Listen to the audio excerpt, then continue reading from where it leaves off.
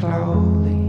What's the point of staring at me as if my burden was not that heavy in the bottom of my eyes? Twinkles fading into cries. Don't you see that I'm ashamed to be the only